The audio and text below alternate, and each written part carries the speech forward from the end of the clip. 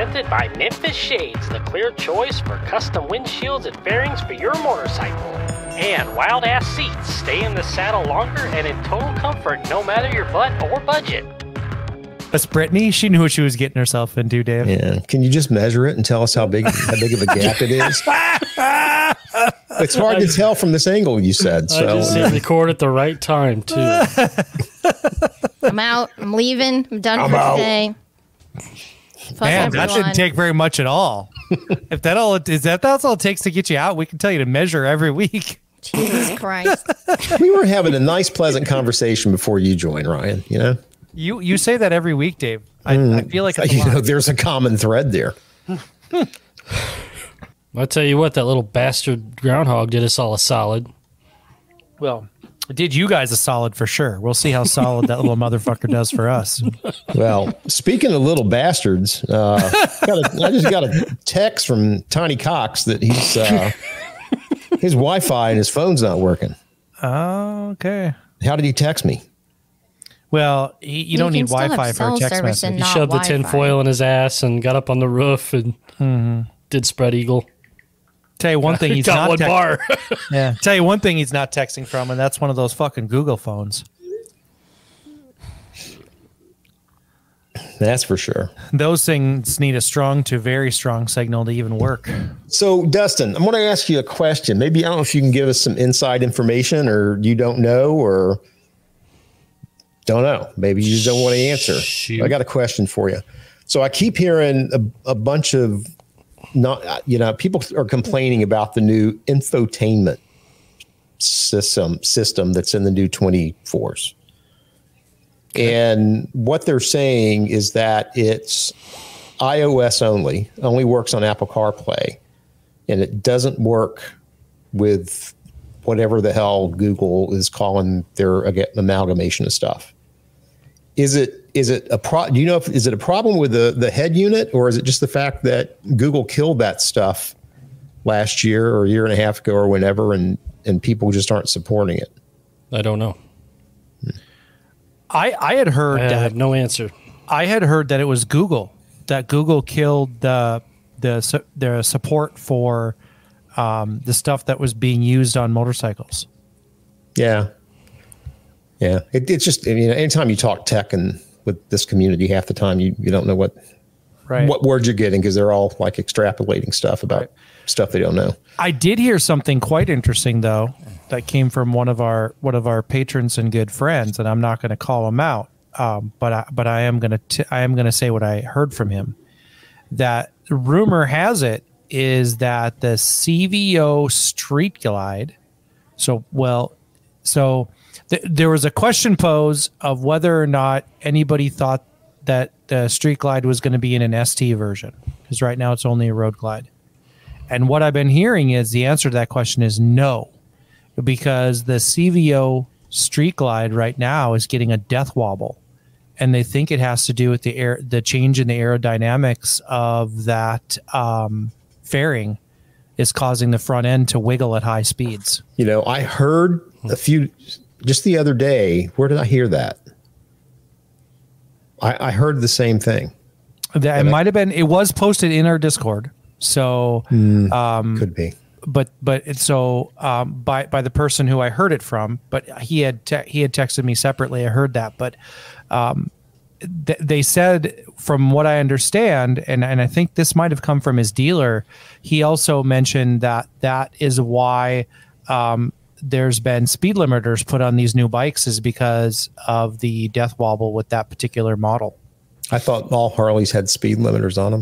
Well, but particularly the particularly the CVO and then not moving that new fairing design into the ST was because of this uh, particular wobbling situation at high speeds. Is he sure it's not because they were trying to get Android car shit to work and be- beating on the fairing while they were riding at the same time? No, I That could give you no, a wobble. It could. I mean, it could give you a wobble, but from what I understand, this is directly related to the uh, fairing design versus speed. So Which is puzzling because Harley claims that both models were wind tunnel tested. two inches. Anyways, how do these are new models? How do they even know if this shit is happening? It's a micro That's gap. What I want to know. How do they? Well, I mean, these new models, Brittany, would have had to have been tested. They don't just make new shit and not put it out there and test it. No, I agree with that. But how does the general public know that there's a problem with them? Well, they've been available hasn't for a week and a half. Well, people and the- have been and able the- to buy them for a week and a half. And these frames, th- or not the frames, but yeah, the, the redesign of the body style and the fairings have been out for over a year already But do you do you think they they I put mean, this out in the CVO models last year. Yeah, but they they would have road tested this stuff. I mean, I, I guess it's you know, it, if it's true, if someone was on it and it started wobbling, what speed were they going? Well, you're right. They would have tested it, but but obviously people are buying these all over America in variety of conditions and wind and and elevations and that kind of thing that Harley maybe wouldn't have had an opportunity. You know, I believe that their testing grounds are in Arizona, from what I understand. So um, while they would have had some elevations and maybe you know some winds, they wouldn't have had every condition that the bikes would be encountering right now. Well, they ought to be testing them in every region because Yeah. you're going to have variable everything. Right. I, I, That's what I, agree with you, do. but I, don't- I don't know what they're I don't know what they're doing. I just know that they're in, their engineers are lo- there's a there's a grouping of engineers that do redesigns that are located in Arizona and they do a lot of track testing and testing with new models and new bikes and stuff in Arizona. Yeah, but they'd also be doing wind tunnel testing and stuff like all all vehicles, you know, For- under different for sure. conditions and all that. Absolutely. So- Yeah, because I mean they're a huge corporation. They'd be under serious liability, right? I mean, it didn't it didn't stop them from jacking those dynas out like they were nobody's business with death wobbles they knew existed. It'd still probably do. Exactly, and still probably do. So I mean, you know, I mean, this there's is got again. there's got to be a testing facility, track, place or whatever in Wisconsin somewhere. That's this near is all. Yeah. This is all speculation. It's not anything that's confirmed. It's just what I've been what, what I've heard. Hmm. Well, like I said, I heard the same thing. I don't recall where. Maybe it was the same source, or maybe it was a separate source. I don't know. Or maybe it's just a rumor going around the internet. Maybe, maybe so. Well, I'll wait So- for recall emails coming through the deal. right. Is that why they don't have the the ST version out yet? That's what I had heard. That's that's the speculation was. That's why the ST was not released in the Road Glide and Street Glide was because of that mm. very. Well, then may, maybe the issues hmm. with the model they haven't released and not with the existing CVOs. You know, well, I, I the what I had heard was it was coming from the existing CVOs, but this could all be wrong wrong information. I'm just yeah. I'm just trying to fuel a fire, man. I'm trying to get people fired up about it. Get don't get 'em sue us. And, Don't sue us. We're not trying to start a rumor. that's right. We're just trying to perpetuate. well, I'm that. for sure trying to start a rumor. I'm just not. I'm just not quantifying that it's fact. That's what you get. Ryan's uh, artificial intelligence is kicking in. That's right. Speaking of artificial intelligence, what do you got for us tonight, Dave? Oh, I thought we would. Uh, I thought we'd play a little game. Uh, what are we gonna with artificial intelligence or Yeah, or are we the, playing, uh, or what kind of game we playing like hide the sausage kind of game or artificial intelligence that's what that's FDBM 24, right? No, they, ha- they haven't put the AIs in the dolls yet. oh okay You got you got to wait. That's You- still that's- another year or so. you find away. out about that after retirement do you yeah, talk to you about that. I later. tell you what, this AI stuff is moving fast and it's scaring me. You know, it, it's funny you say that, and everybody, I, and I hear a lot of people saying that, but AI's been around a long time. I mean, I, I remember I took my first course and wrote my first program in like I think it was ninety one. You know, when they Yeah, I were mean- really pushing AI. It's just that it's really jumped. It's you know, available last- everywhere for everything. That Yeah. is AI is used in all kinds of stuff. It's just we never think about it or realize it. Yeah. I mean, like Dave said, it's been around forever. You just don't realize that it's there. It's just people like to whip up the FUD.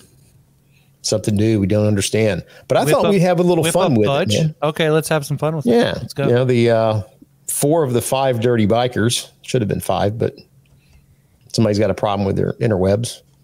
Uh, versus Chat GPT. okay so real explain to intel- us what- intelligence versus artificial intelligence. Yeah, well, I don't, I don't know if I'd say we're real intelligence, but uh, maybe it's half intelligence against artificial intelligence. we try. We try. Why don't we go with that? So I went out on Chat GPT that platform. I, I've actually used a free account, so Okay. the data set and everything that it's using is uh, from I think 2022, Okay. so about a year year old. And I asked it a couple of questions.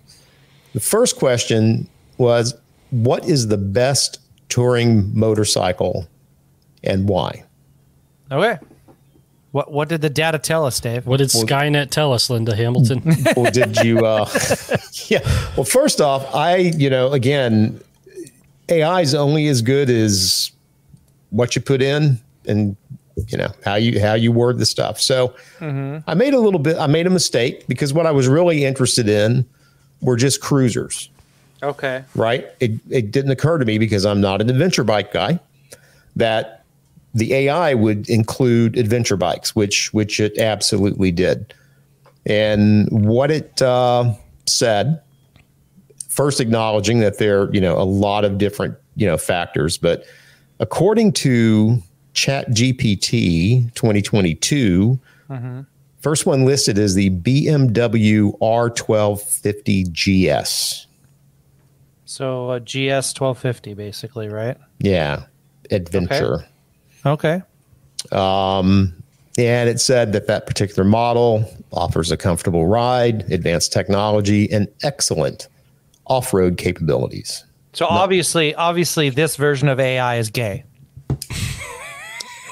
That or I, or maybe I didn't say as a straight man. Oh, okay. You know, I mean, you, I'm you've got just- you've got you've got to pose the question right, right? Yeah, you got I- to pose exactly. the question right. I'm just kidding out there. yeah. This this version of AI obviously does like to ride to coffee, though. That is that is a, a case in point. That is It- fact. well, as do a lot of uh, real intelligent things. That- So the second one I it beg had- to differ. the second one it had was the Honda Goldwing. okay. You know, and they and it says that's renowned for its luxury touring features. And the Goldwing provides a smooth and powerful ride with ample storage space and comfort features. Sounds like this baby is being paid by Honda. Um, when when was the Goldwing announced? When did it announce? When did Honda announce that the Goldwing line was being discontinued? Was that in 22 or 23? Do we remember? Does anyone remember? Wasn't it? I last thought it was in 22.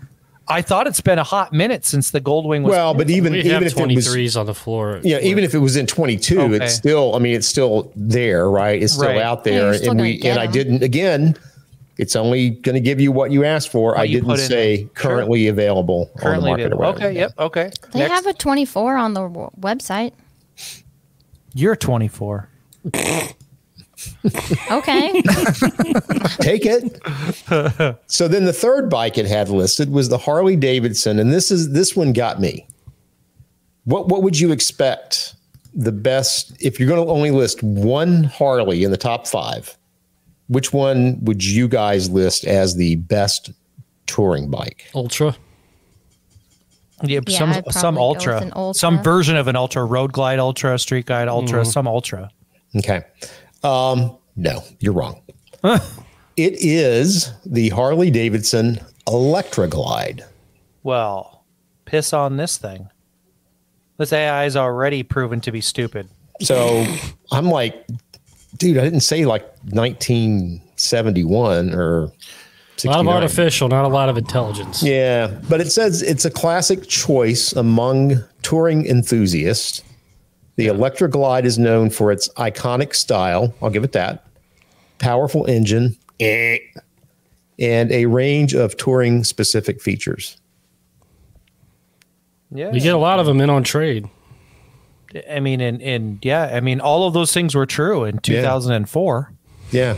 I mean, in the day, well, I shouldn't say much. PJ has one, um, you know, and he loves that thing. Your son has an electric glide. Yeah. He doesn't go over 80. He doesn't go over 65 miles an hour. I don't think he rides, but he's got an electric glide and a Dyna. I don't. I don't know that he's ridden since we went uh, out to the Badlands. No shit. Yeah, Okay. maybe maybe around town a little bit, but no, he's he's got a little one he's caring for now, so he's off There the you go. bike for for There quite some time. Okay. Yeah, so that's that's three, and then the fourth one, and I know nothing about this bike whatsoever, is the Yamaha FJR 1300.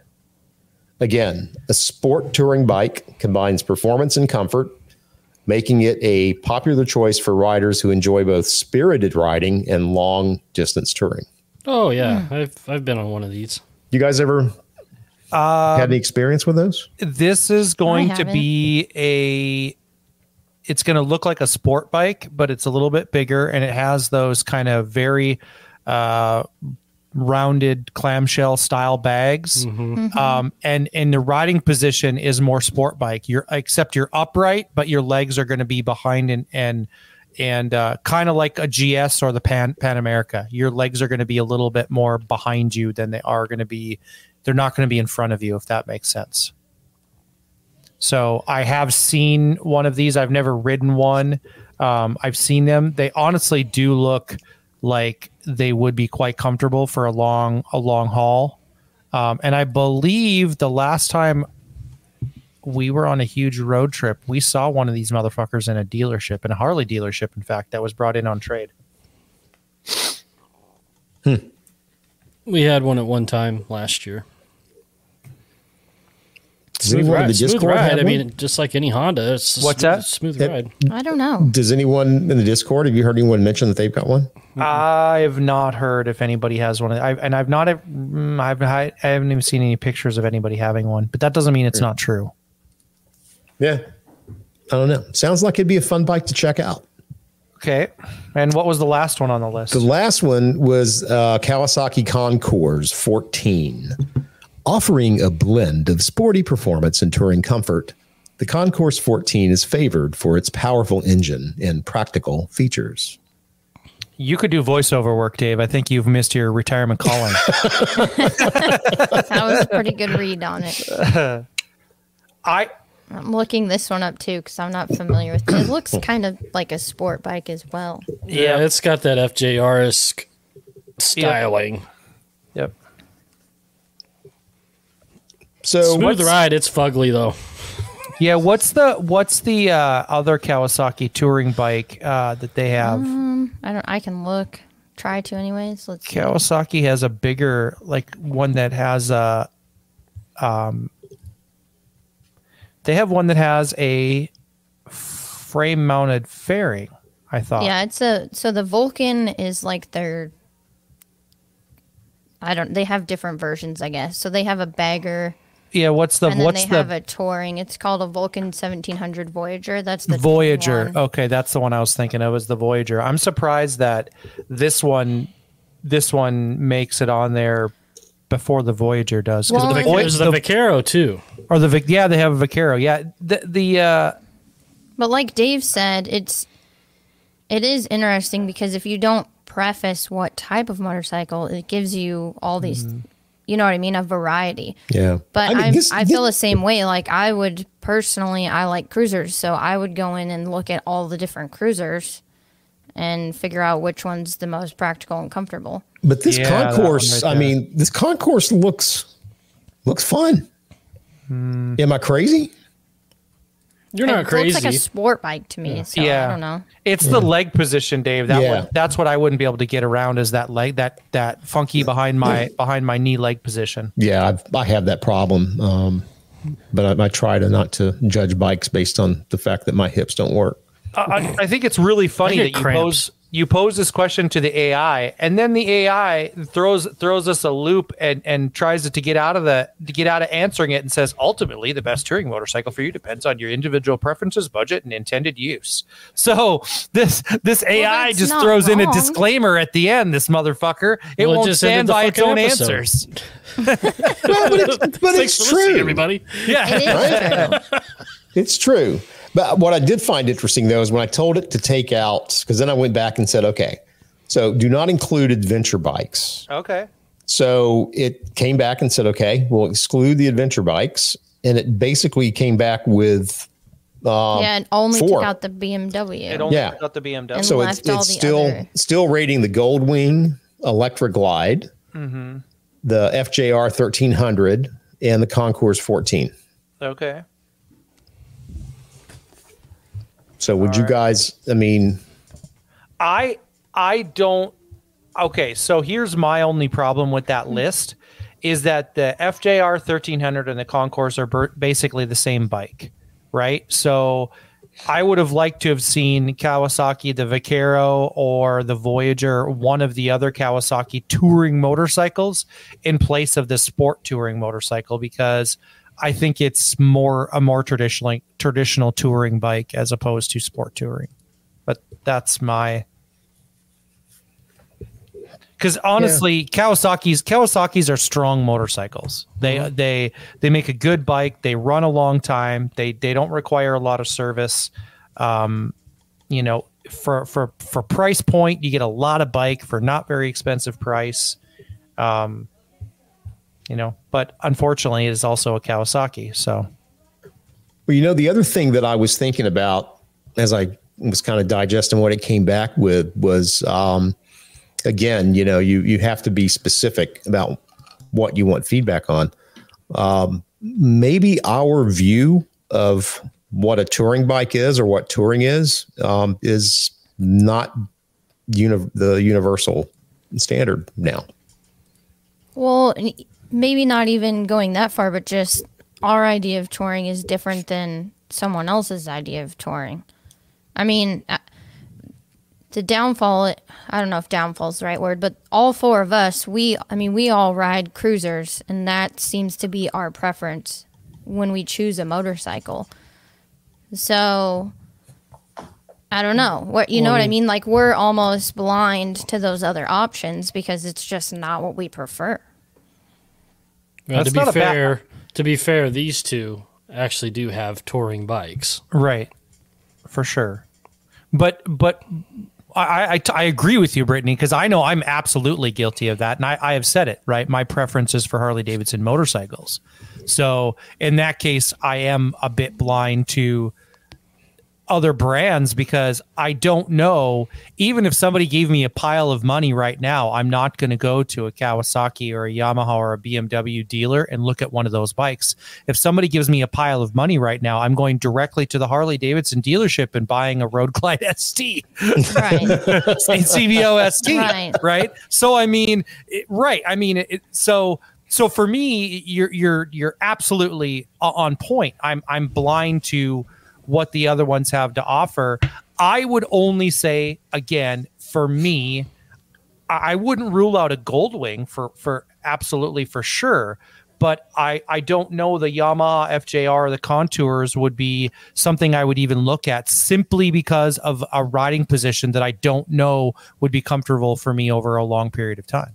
Yeah. Yeah. And I think even within that, I mean, if you look at sport touring, which which I get, right? And like an LRST, that's a sport tour. That kind of fits with the type of touring that I like to do. I'm not doing any fucking off-road or adventure touring, that's for sure. So when people talk about, you know, a touring bike, those bikes never even pop into my mind.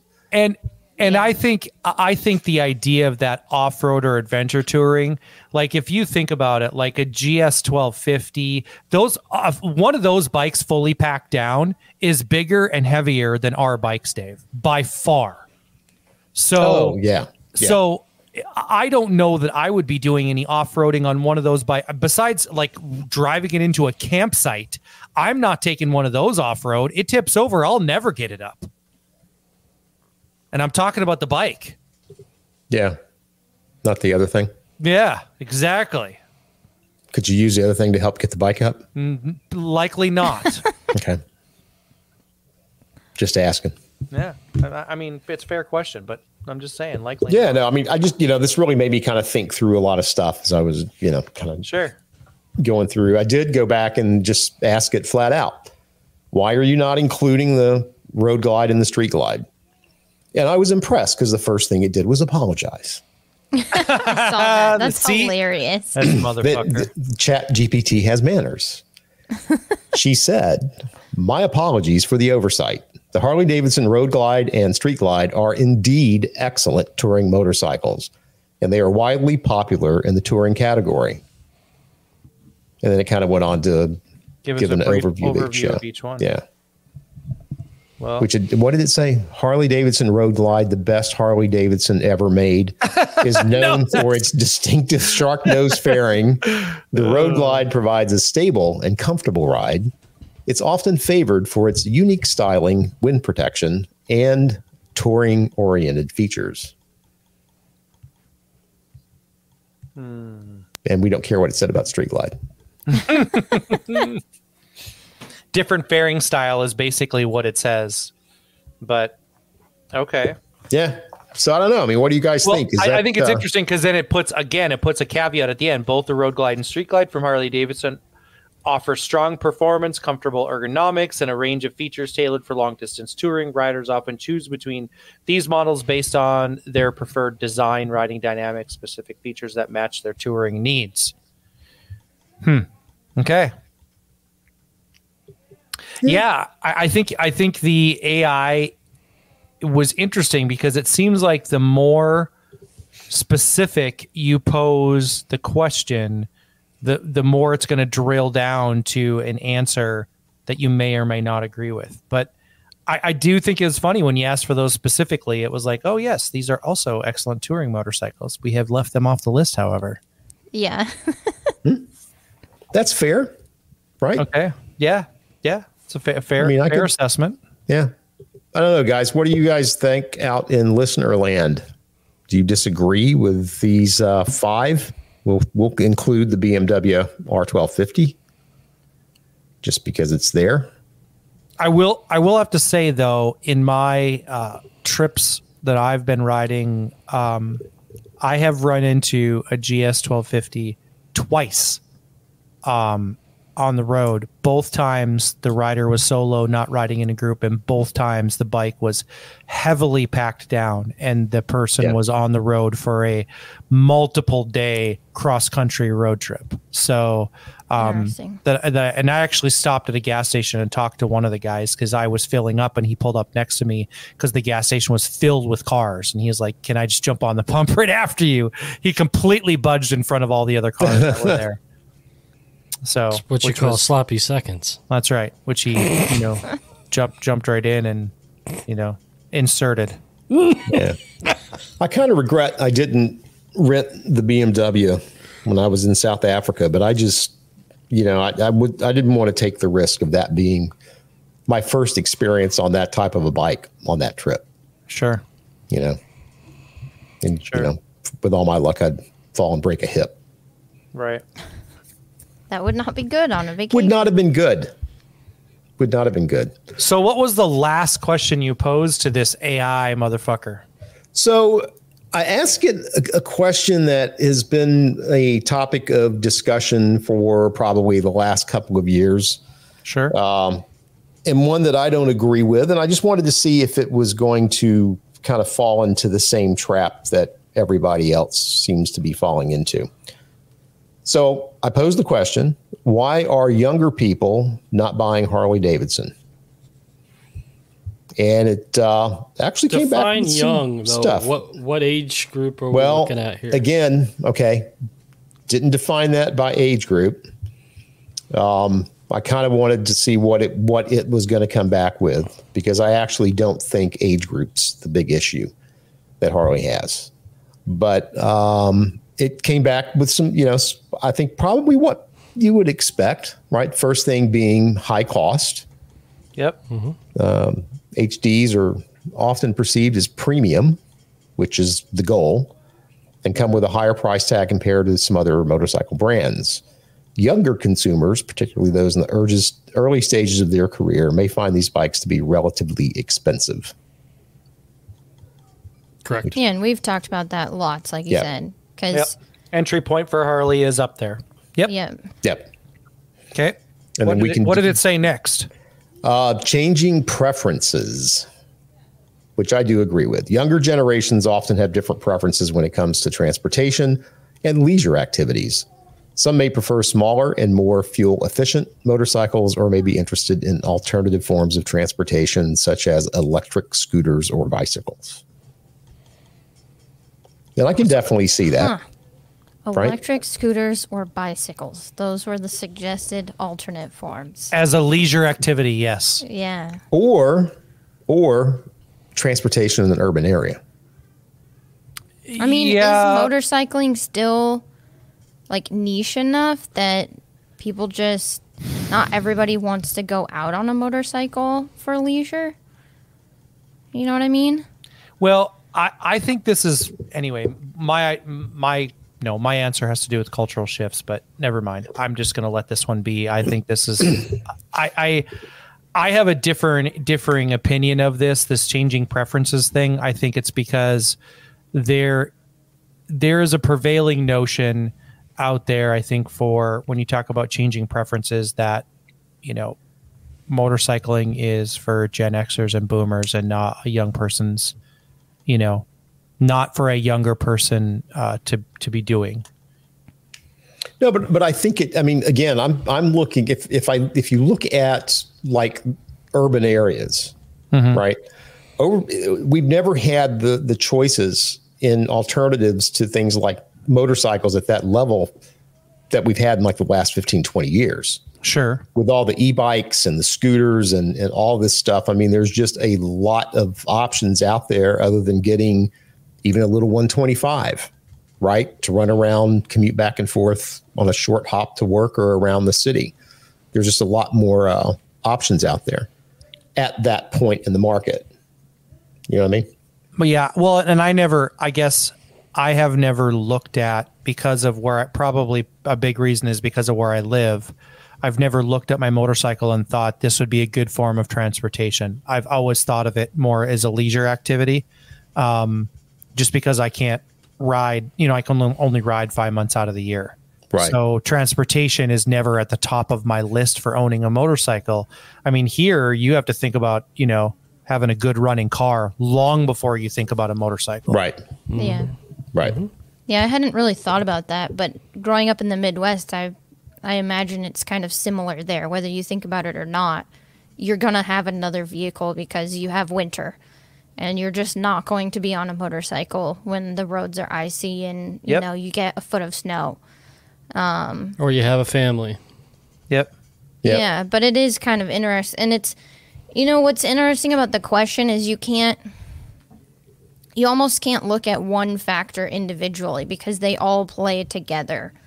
Um, Because it's like, I don't even know how to answer it with just like one or two bullet points, you know?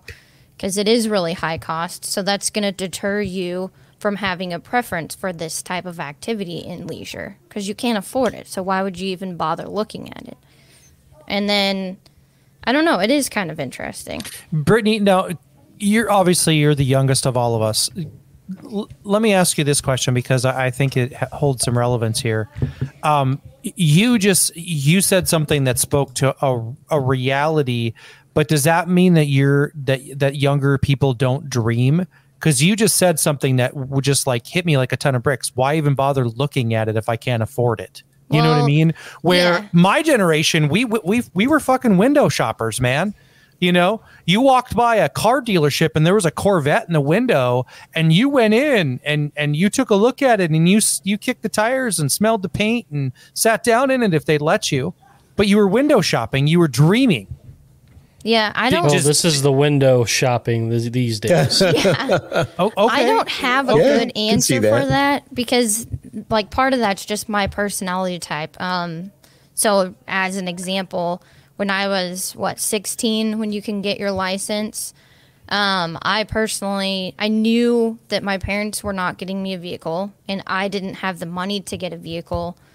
So, I guess in my mind, I wasn't going to get my hopes up that I would have one. So I just didn't even bother with it. I just kind of put it off to the to the side of my mind.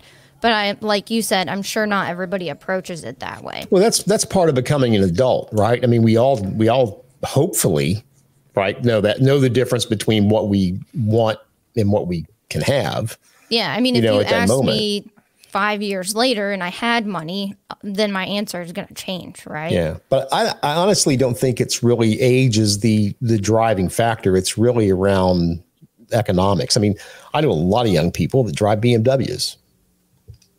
You know? Cars. Yeah, I mean their oh. age Yeah, and those aren't exactly cheap. they're not cheap. vehicles. Well, you know, now granted, some of them have the three series because the three series is kind of the get into the the BMW brand. Isn't a BMW just a poor man's Mercedes? Come on. Oh no, man. I do like young, it's young man's, young man's. oh, young man. Okay. But you know, but again, it's you know the not and, and I well actually I'll, I'll save that because we're going to get into economic factors. But anyway, so the, the next thing besides we had high costs, changing preferences, and cultural shifts. This Brian, one wa- seems. I know. Sorry, Brittany, you want to take that? No, it. go ahead and read it. So I want to say something and then I'll read it. This one, to me, seems maybe equally as impactful as the cost because when I think about this question, I immediately go to, okay, well, I didn't grow up around motorcycles.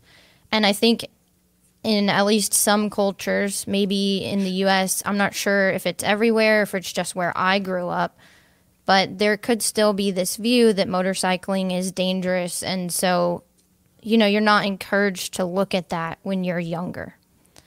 Um, but let me read this. So it says cultural shifts.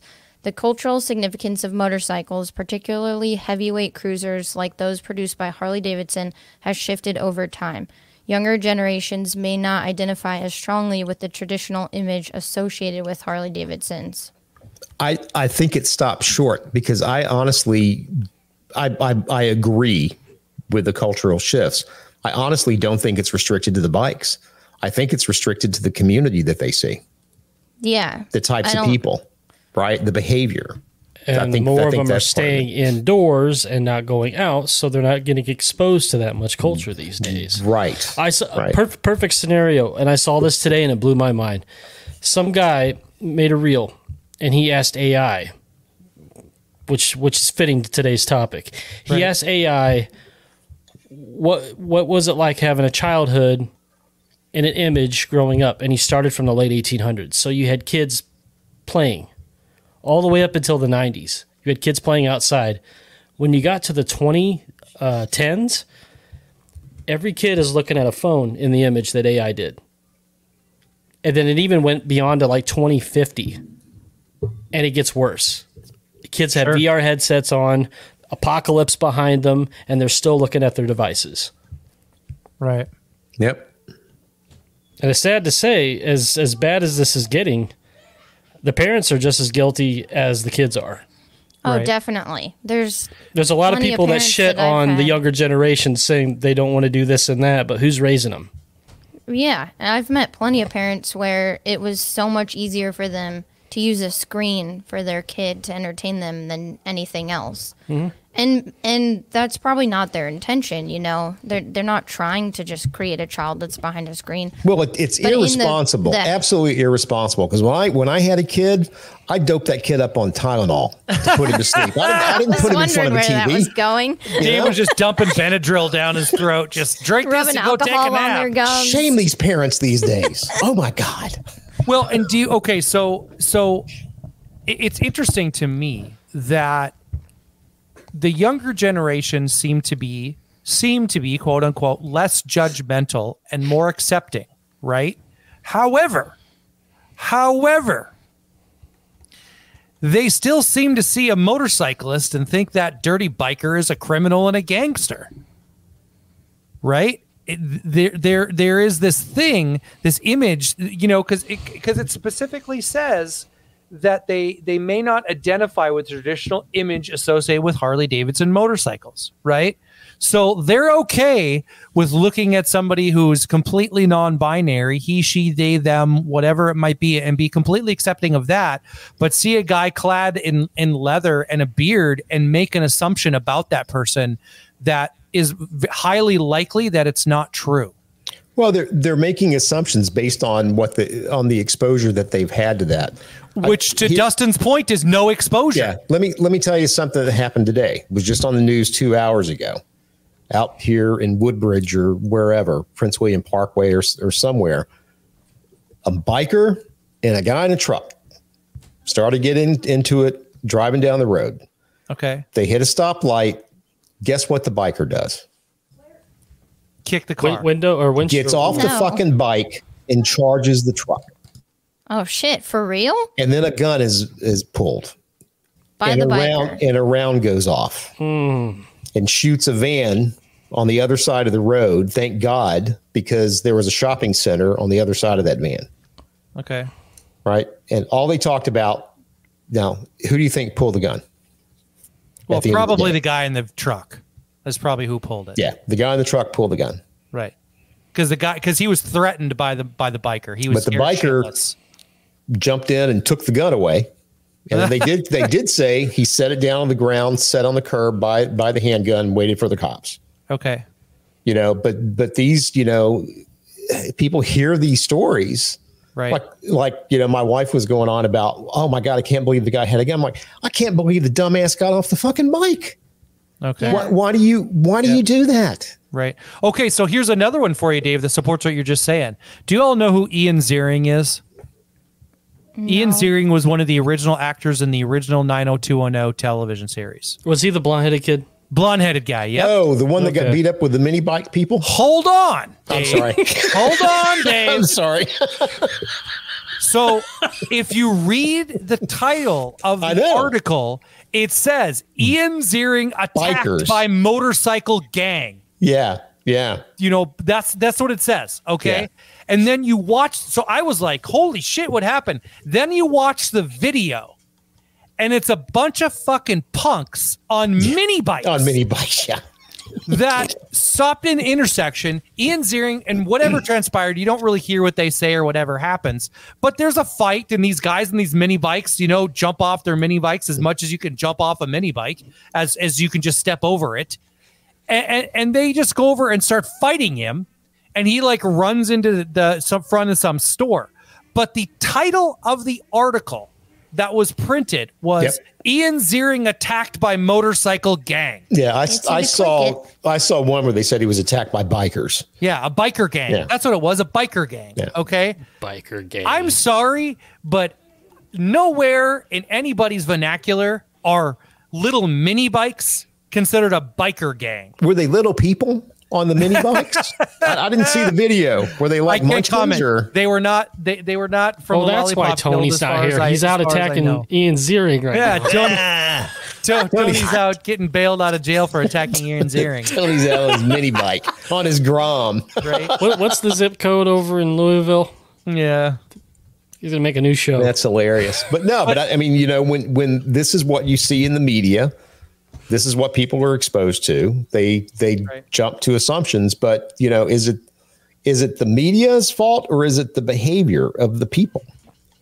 Well, You know, it perpetuates it. Right. It's it's one it's one represents all, right? Yeah. So Yeah. one biker gets off his bike and does that. Never mind the 47 people that got out of their cars today and Oh, yeah. did the same thing on a road somewhere, right? Yeah. But that's not making the news everywhere because they want to make sure they continue to cultivate the image that all of us bikers are criminals and, and gang members. Yeah. I mean, that's the that's the reality, right? And it doesn't matter if you look like me or or if you look like Brittany. We're all still criminals and gang members. Brittany's just from a just from you know I a mean- different gang. Yeah. Well, Straight thug. the time that I ran out of gas in like out in the countryside and I pulled off into someone's driveway and went up to their door and this woman looked like she was terrified of me.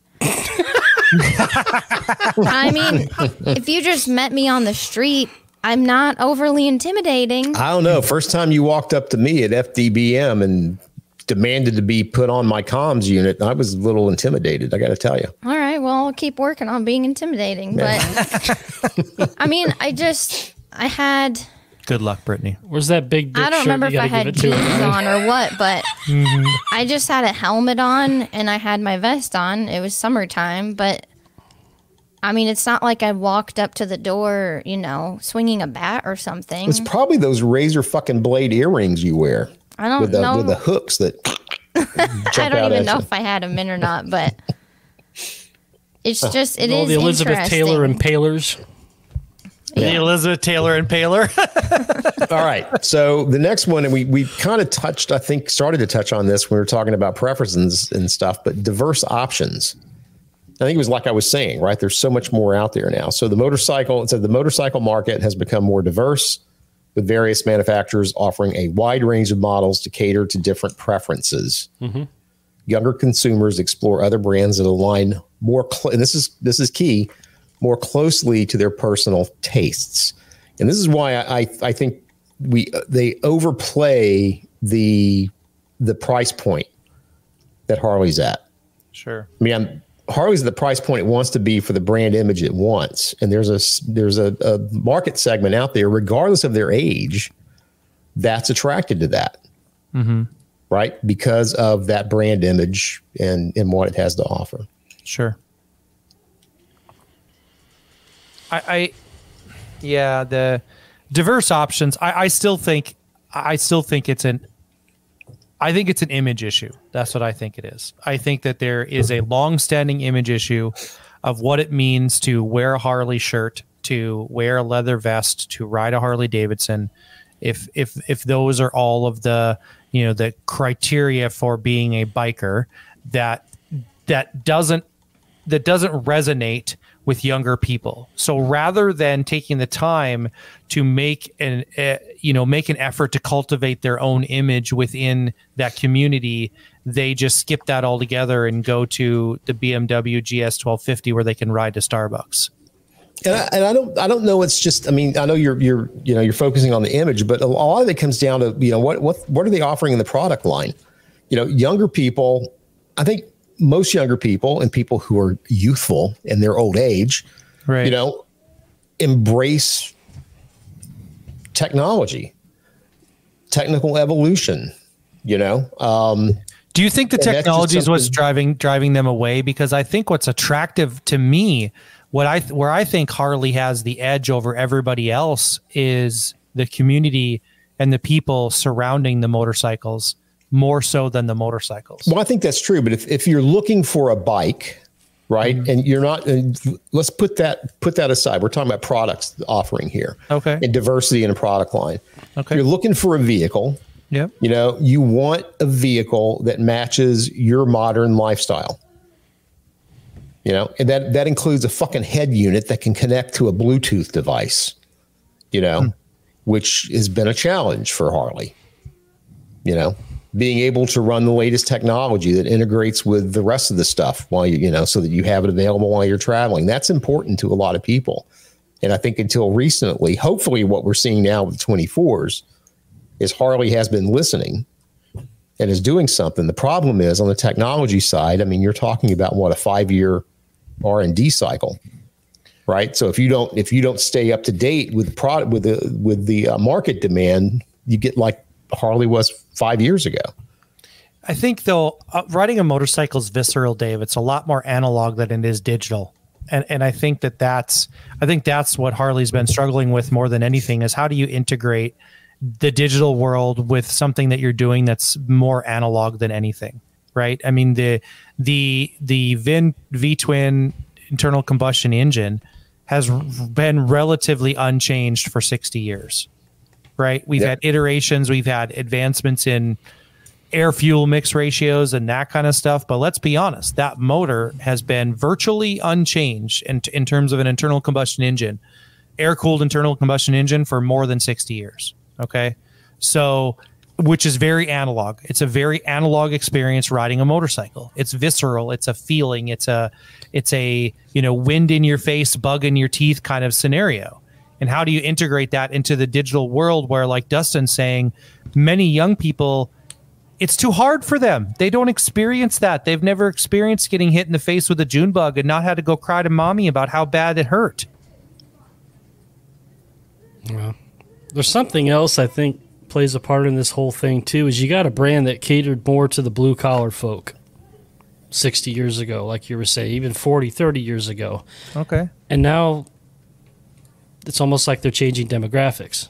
They're pricing out the blue collar people, and this is only going to be a white collar brand in another 10 years. That's kind of going against Harley's original image and what it was for 100 years. Yeah. Well, you're not wrong. I mean, Times it's, I mean, it, you know, it, it, it was a, you know, it was a motorcycle brand that has been, you know, headquartered in the upper Midwest of the United States for, since its inception, right? Mm-hmm one of the most blue collar cities in America. Yep. So, you know, but you're but you're you're not wrong in terms of you know changing that that image in terms of getting away from that. And I I think they're still they're still struggling with that, right? Because the vast majority of their core customers are still those people. You know, mm-hmm. are still the blue collar the blue collar folks. But aren't they struggling just like the automotive industry, that all the automotive manufacturers have for the last 30 or 40 years? I I think I mean, it's the same, right? I I, mean, think- you're, you're struggling yeah. with image. Uh, I think the that- difference Ryan, Same- difference it's the is same is with the trucks. It's the same with the trucks right now. Look at the prices of trucks. Yep. Yeah, Trucks what trucks was for the working blue collar man. Yeah. and now they cost eighty thousand dollars and up for Yep. you know some of the top of the line ones. that's because people don't need a truck buy a truck. right, Right. right. Exactly. Well, and they Well, do have a lot of stuff in it though too. Like we're talking about technology. Vehicles aren't just a truck to use out in the field and use as a workhorse. They have all kinds of shit in it now. Yeah, mine mine is actually set up truly because my center console is like has a flat like a flat pad on the top and there's a plug-in. It's set up to like drive it out into a farm field, plug in your laptop and run your drone and do all you know all your stuff from right mm-hmm. there to do your evaluation of your field right in your right from the inside of your truck. You know, and, and mine's not super integrated with technology, but you could do all that from inside of my truck and never have to get outside of it. So, you know, it's it's an interesting it's an interesting situation though because I think that you know I, think the cultural thing that that AI didn't hit for me was culturally how we view motorcycling in the United States versus how the rest of the world view, views a motorcycle. The rest of the world sees a motorcycle more as a utilitarian device than a luxury device or a device for adventure like we do right? We don't look at a motorcycle and see that motherfucker is going to hold five of my family members and all of our groceries for the next week, right? Where there are places in this world that actually that view them as being able to do that very thing, and we don't we do not view them that way. And you know what's interesting to go back to Dustin's comment about you know the how bikes used to be a blue collar thing. If you're in Asia or I don't know, pick a country, right, where mm-hmm. motorcycles are a huge part of their their transportation. There are a lot of grease monkeys out there, man. People working on their bikes, they're you know tearing stuff down. They're putting. I mean, you see it everywhere. You don't see that in the U.S. anymore. It kind of, like I said, I think it's mirroring kind of what's happened in the automotive industry. Because Ryan, you know, when you and I were young, muscle cars were were the thing, right? And everybody could work on their own car. Mm-hmm. Yeah. Well, you can't do that anymore. Right. I had a very Yeah. yeah. One of my first cars was a '78 Malibu, very analog. I mean, it didn't even had it didn't even have a working radio in it, to be honest. And I, I don't want to offend anybody out there by saying you can't work on a car. You can work on a car, but Right. back in the day, everybody worked on their. They fucking made it cars. easy. You could pop the You hood know? and you had access to everything Yeah. without having to take five other parts out. Yeah, Right. But you didn't Yep. have electronics in them and technology in them the way you do now. I Right. mean, Yep. Yep. Yep. You could change your oil. You could get to your oil filter. You could change your tires, change your brakes, change an exhaust. I mean, that was stuff that that your basic home mechanic could do on their own car. That Yeah. most people did do. Dave's not wrong there. yeah. I You know, I was. Dave, do you? Let, let me ask you this though about motorcycles too, because you specifically mentioned, you know, like an Asian country, for instance. Do you think that we've also shaped motorcycles in the United States specifically based on our free travel over a gigantic landmass that we have? Yeah, I mean, I think that's that has something to do with it. But I think the the market in the U.S. Uh, well, first first off, the fact that we have to travel so far, right, to go everywhere, everybody goes to cars, right? Because Right. you want comfort, you want to carry shit, everything else. Right. Um, if you you know if you go to Asia, you go to Europe or whatever, the you know the distances traveled are much smaller, right? Uh, roads are smaller, right? Bikes make a lot of a lot of sense. Um, you know, well, think about think so about your here. trip, your trip, or or Dustin's trip, or or Brittany's trip out to FDBM this year, right?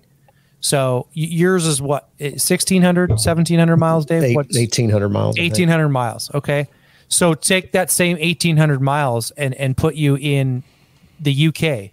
How many countries are you going to cross in 1800 miles? 10, No, probably 10 at least. three, four.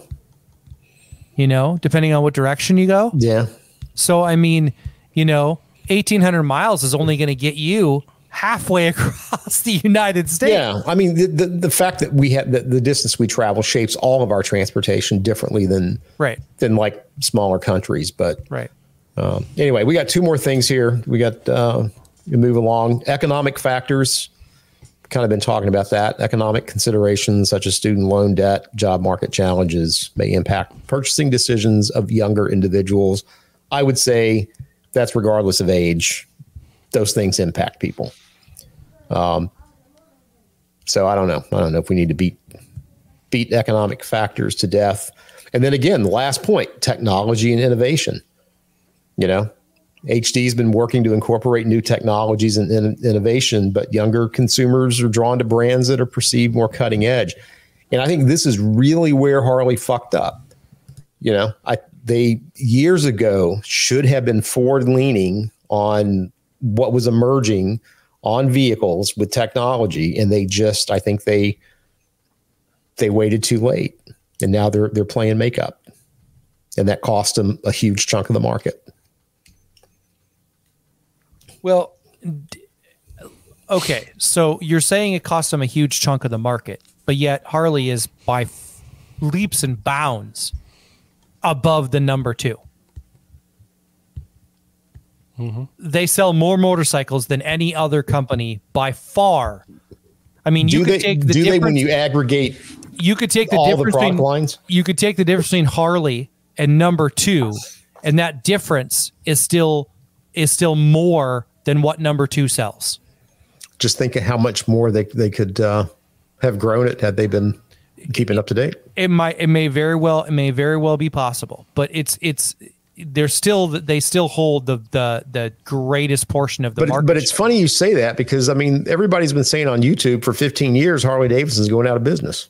The- Well, they're, Yeah, they're saying that they're that. Saying that know. because they're they're coming off of the boom of motorcycles, right? That's what that's what's going on, right?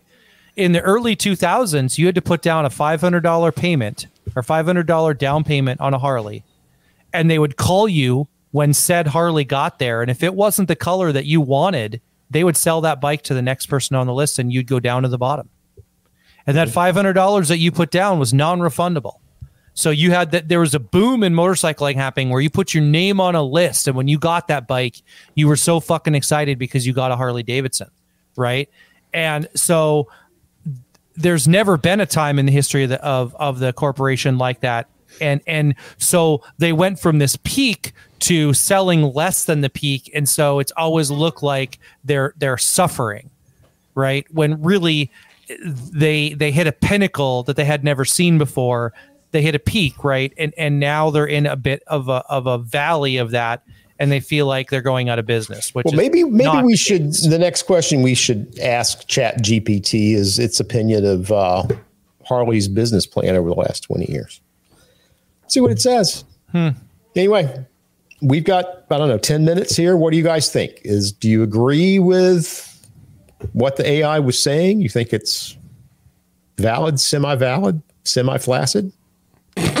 Which uh, Well, we know you're, nothing. we know you're completely flaccid, Dave. Uh, baby. Everything's downhill after retirement. Brittany, you're the, the the closest thing we have to young and hip. What do you think? I mean, I feel like I already shared my thoughts. Like, No, I mean just about the whole the whole. How how would you sum up how GPD GPT did? I mean, I think it did okay. It hit on all the all the variables that you would look at. It hit on stuff that matters to me. Yeah, but didn't you buy a Harley, Brittany, because it's badass? I bought a Harley because it It's badass. So let Say me- it. Just say it, Brittany. it is badass. See? I mean, it is. It just is. You wouldn't feel nearly as badass if you were on a Yamaha 1200S right now, Probably not. I don't know. right? Because you know what it's going to sound like when you ride by? It's going to sound like this, Brittany. Yamaha.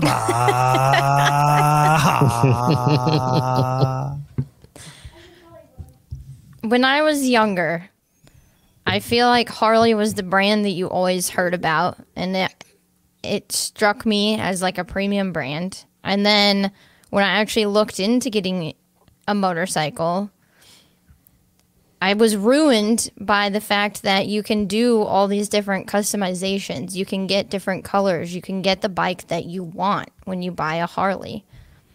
I mean, I looked at other brands and you just None of them were badass. Yeah, I mean you you you could I suppose you could go and like get it painted or do the different, you know, different things, but the fact that you can customize it and you can get exactly what you're what you want, that's what sold me. When you run out of when you if you would have run out of gas on a Yamaha at that lady's house and you'd have gotten off your bike and parked it and walked up there, she probably would have offered you tea and crumpets. Probably. Right? But you walked up there with your loud ass bike that's stalled at the end of her It's driveway. not even loud. with your with your leather vest on and and your your you know your hair and your your your earrings all twisted Switchblade three earwings. circles, like coming out of your coming out of your ears you know all red faced from being on your bike in the hot sweaty kentucky swass heat and she's like i don't want any part of this Go back where you came She came probably from. would have invited right. me in. Well, I'm out. Yeah like i said if you'd have If I pulled was on up a on scooter, your yamaha it'd be a she'd- different story too. She probably wouldn't have even spoken to me. So Hmm. you'd have pulled up on that yamaha like i said she'd offered you tea and crumpets Or your Ducati and tight leathers. There Chat you go. GPT. I thought that was an interesting exercise. it, it was is interesting. It's it's interesting to me that you do have to be so specific with it when you ask questions. End of the day, I like hearing from people instead.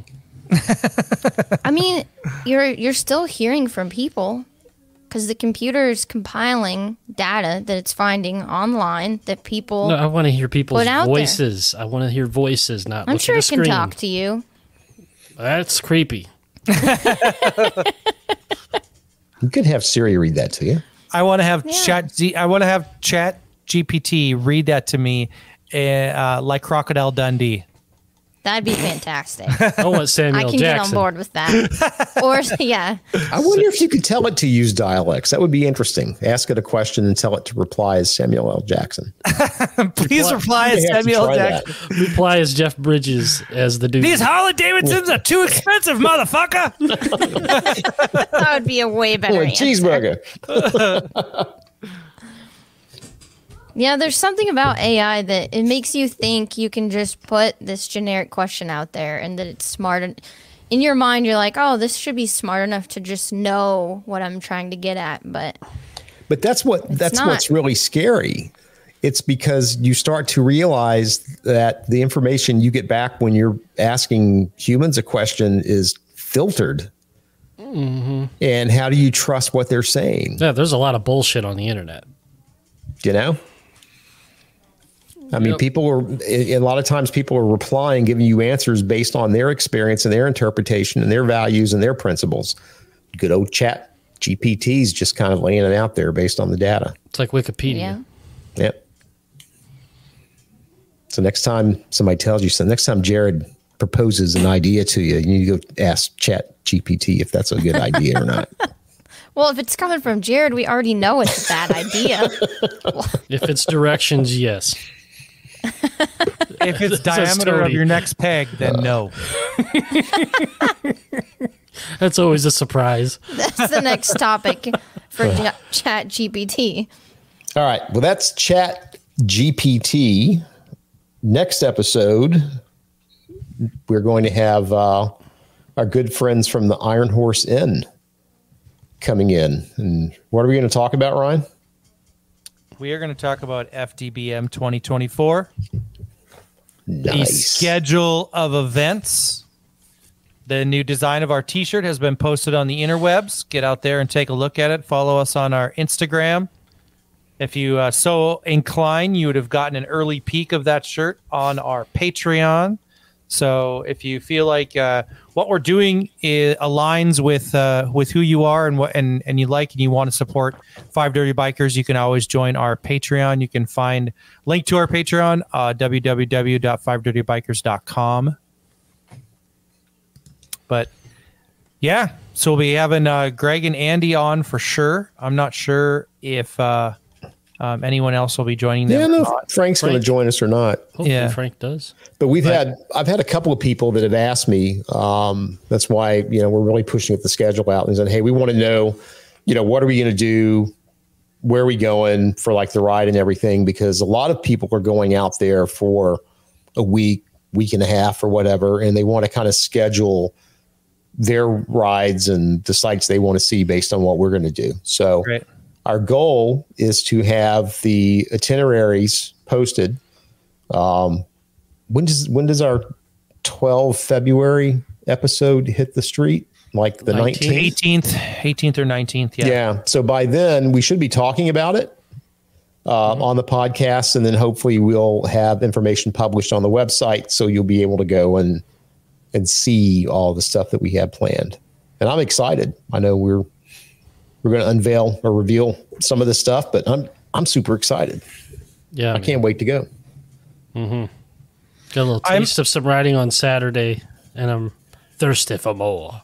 I uh I, I'm having I, it occurred to me just the other day. I have I have mixed feelings about this because while I'm very very excited, I don't want to be too overly excited. I need to put something in front of FDBM 24 that I can look forward to, so that I don't I don't lo- do- so I don't wish my whole summer Are away. you, are you coming to see me I I don't know. finally? No, uh, we're going west. I'm going west. I'm going to Texas.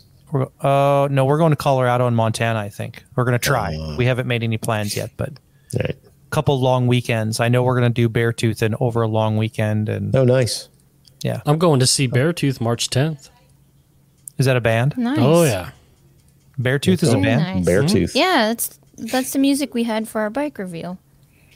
Well, I'm going to go to Oh, okay. Texas and I'm stopping in Tennessee on my way to get that fucking out of date head unit in my Road Glide shit canned and replaced with something modern that works with my shit. We'll be posting our itinerary. We'll be posting the plans. We'll be posting the event schedule. Everything will be out there.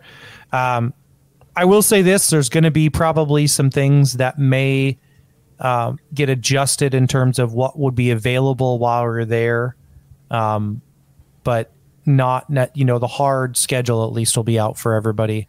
Um, we could probably you know also say that if you're planning to go out there prior to or afterwards, plan your technical rides during that time.